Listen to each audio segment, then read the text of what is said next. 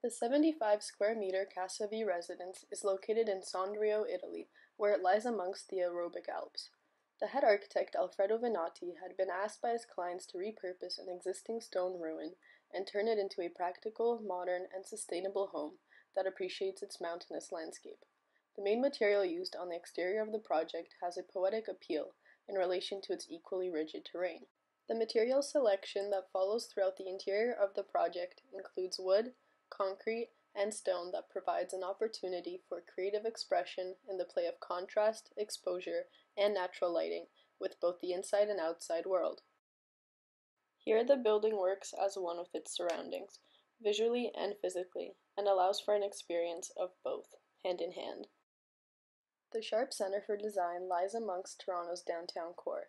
It is a fairly recent addition to Canada's oldest and largest art and design school, OCAD University, having been built in 2004 by UK architect Will Alsop. This large elevated structure is not surprisingly a big fascination in its Toronto surroundings. Contrary to Casa V, this building stands over and appears superior to the surrounding traditional brown brick facades.